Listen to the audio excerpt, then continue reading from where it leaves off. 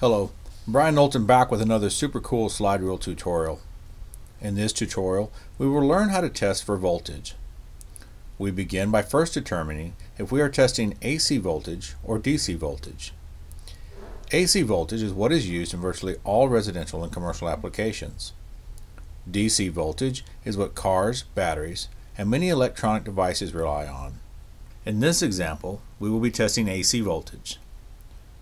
We set our testers to AC voltage, which can vary depending on the tester you have. Here are two examples of testers set on AC.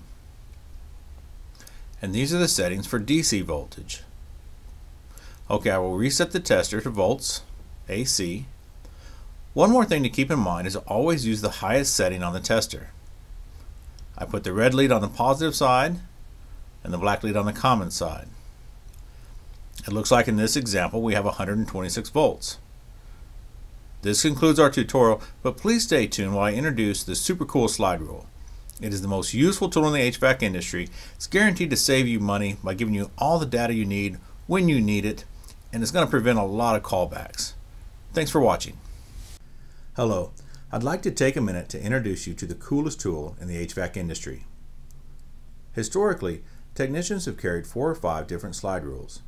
You have one for R22, one for R410A, one for metal duct sizing, one for flexible duct sizing, and yet others for diagnostics or troubleshooting. Thankfully, those days are gone.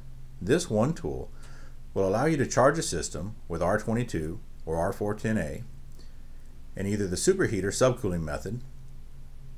The back cover contains required formulas, it has capacitors rules and practices, a wet bulb conversion chart, how to perform computations on series or parallel circuits, an electric heat strip guide, a complete system troubleshooting diagnostic chart, and how to troubleshoot compressors in TXV. Inside is packed with even more information. It performs sizing of both metal and flexible duct. It has the only direct reading conversion from smooth metal to insulation lined metal we've ever seen.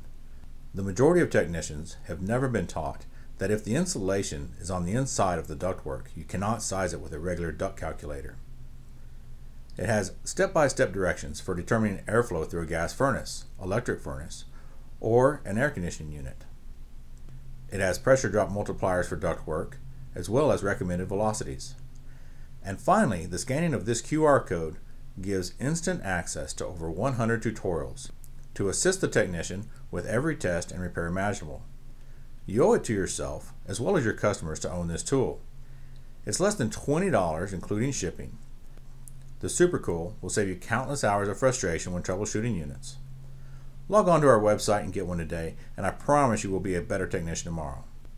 And remember, every technician is only as good as their tools. Thanks for watching.